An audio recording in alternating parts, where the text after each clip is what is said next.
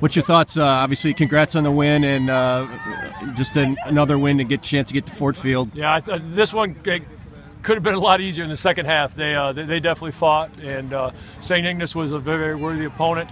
Uh, they gave us fits with some of the things they did, but our guys were able to break some runs, and that was probably the difference from this week to last week. We were able to break some runs and uh, get the score we did. How tough were the field conditions? You know, it seemed like uh, maybe a little slow to start with, yeah. and then you kind of got your footing. I think that's part of it, and they, they did a great job up here clearing the field off at, at halftime and before the game. And you know, again, you're playing in snow, and it kind of clumps up in your cleats a little bit, so you got to do your best and uh, knock it off when you can.